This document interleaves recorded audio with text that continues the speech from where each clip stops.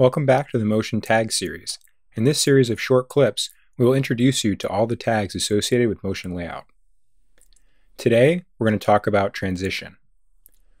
All motion layout animations are transitions between states, which we model as constraint sets. We use the transition tag to define and customize those transitions. In our example, we have a motion layout scene that has a transition between two constraint sets. The transition tag typically defines the start and end constraint sets and is where we control attributes of the transition, like duration. You can have multiple transitions between states. You can see in this example we have three states and transitions between each of them. Gestures are handled automatically. The system will pick the most appropriate transition. So in this example, where there are different forward and back transitions, motion layout will pick the correct one. If no transition is specified, the system will use the default transition, shown here.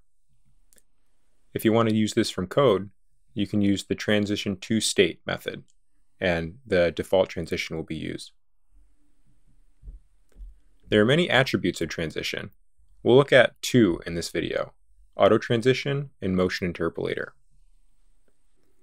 First, we'll talk about auto transition. This is a powerful attribute that allows you to have automatic behavior on reaching a state. One of the most common use cases is when creating animations that trigger when launching a view. To do this, create a constraint set defining where you want objects to appear from, and then add the transition to make it auto-transition. And that's it. This animation will start when the view is loaded.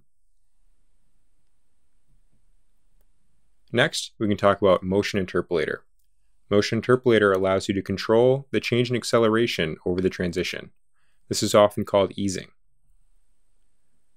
There are three types of motion interpolation.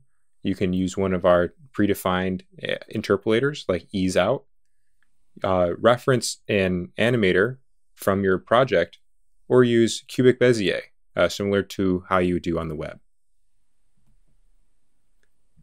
Motion layout has many tags, and we plan to cover them all in this series. Coming up next, we'll cover on-click. Thanks for watching. See you next time.